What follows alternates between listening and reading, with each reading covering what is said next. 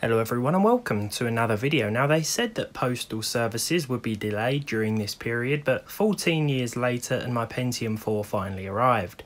Time to unbox it and play all of my favourite games. Seriously though, I found this old chip on eBay in its original condition and despite going untampered with for the last decade and a half, I decided to be the one who finally let it out of the box. I apologise to every hardware collector out there who might cringe at this, especially the condition that I left the box in, but it's time to remove this old thing from its factory sealed packaging. The Pentium 4 641 launched in 2006, so it was one of the last in the notorious lineup and as such featured hyper threading. Instead of one core and one thread, it has one core and two threads, though these days I don't think that will save it. This particular model cost around 218 US dollars, so it wasn't exactly cheap, but considering some earlier versions retailed for triple that price, it may have been a more tempting buy. Let's not forget though, that the Core 2 Duo CPU lineup started appearing just a few months later, so that could explain why this one never got sold or was never opened. It was possibly stocked on a shelf somewhere, though it spent its days surplus to anyone's requirements. It's a sad story, really, but don't worry, little buddy, I'm here to save you.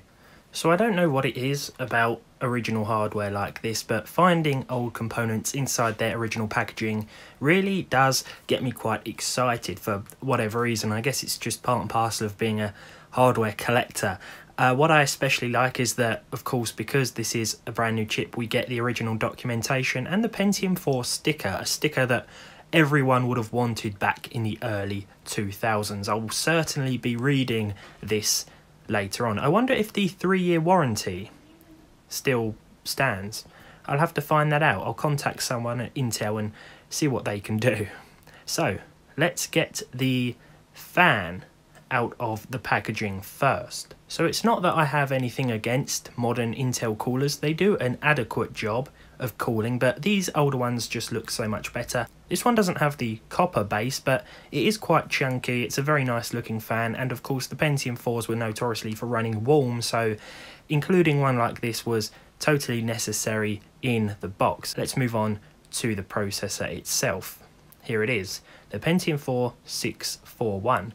I like the little protective layer on the back of the chip now. This isn't something you see either today, although they are usually wrapped in a little bit of plastic. I think I'm just as excited undoing it these days as I would have been a decade and a half ago. I'm like a kid on Christmas here. So here is everything laid out on the table. Apologies for the now condition of the box. I wasn't quite sure how to open it. Opening boxes was apparently more complicated back in 2006 too. But yeah, here we have the nice chunky heatsink fan combination, the Pentium processor and the documentation.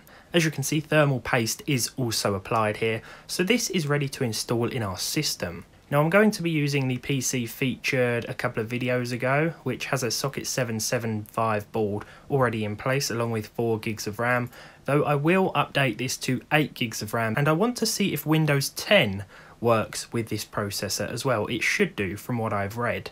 So as you can see, I've put the CPU in the board here. Um, I tested it before swapping out the graphics card just to see that everything booted up and my intentions here aren't to test many games. I did give Crysis a go later on. My intentions here were simply to see if this chip worked and thankfully it does. If we go across and take a look at the temperature as well under the hardware monitor section, yeah, just as I thought, it's running at about 44 degrees, which is pretty much spot on for these chips. I then uh, swapped out the 8600 GTS for a 1080 Ti, which just about fit inside this case, and I also added my 1TB SSD. Now, as you can imagine, the initial boot up was quite horrendous. It took a good 15-20 minutes to configure our hardware here, but once that was all done and we were into Windows, well, I wasn't quite sure what to expect until I started trying to use the machine. So it really didn't take much for the system to freeze. Windows 10 is not the optimum operating system here. I simply wanted to see if this chip worked and I guess you could say it does run Windows 10, just not very well. Now I was a little ambitious to say the least with my first game test here. This was Battlefield 1, my attempt at running it anyway, and the system completely froze. Not just the game, but the system too. More on this a little later. I then decided to see if the good old fashioned classic Crysis would run, and it actually did. It didn't matter whether we used the low or medium settings, or the high or ultra for that fact, because it ran the same all of the time due to the CPU bottleneck. So I should probably say here that the GTX 1080 Ti is not a good pairing for this chip, but I do plan on putting together a sort of ultimate Pentium 4 build in the very near future. I just wanted to see if the chip worked, and in this case, I'm happy to report that it does. There were a couple of freezes with Crysis. I think pairing it with something a little more, you know, sensible, maybe an older 550 Ti, something that's got a little bit of power to it, but something that's not going to totally overwhelm the rest of the system. Something that's going to let our Pentium 4 reach its maximum potential, but not absolutely cripple performance like this. I think the uh, the 1080 Ti is just way too much in this case. But yeah, Crysis does run uh, with about 12 frames per second here. I do think there is a lot more configuring that we can do in order to get games to run more smoothly as well and hopefully we'll add a different operating system to this machine either Windows XP or Windows 7 I think that will really benefit this machine as well so maybe we'll have an Ultimate Pentium 4 or Ultimate Windows 7 slash Pentium 4 machine uh, video coming out too. So there we go. Now, this video was never really about testing the gaming performance of the Pentium 4 in 2020. I think the situation wasn't quite set up right because um, the GTX 1080 Ti was far too powerful. I mean, we were in bottleneck city, their population, one idiot and his CPU collection, but yeah, the uh, the the system really wasn't set up for gaming today. It's a total mismatch. What I do plan to do is pair the Pentium 4 with something far better suited to it, something that's not going to create an extreme bottleneck straight away. I mean, most GPUs will do that, most modern ones, when paired with a single core, two threaded chip. But yeah, I want to create a sort of ultimate Pentium 4 build. Maybe we'll throw some liquid cooling in the system as well, just because uh, we'll also pair it with some better memory, maybe 8 gigs of Corsair XMS if I can find any of that stuff. That stuff seemed to be what people used to recommend back in the day. And then we'll test far more games as well. We'll see what this chip can really do when paired with a more suitable graphics card and perhaps when using a less intensive operating system. As I record this part of the video, Battlefield 1 is still trying to load.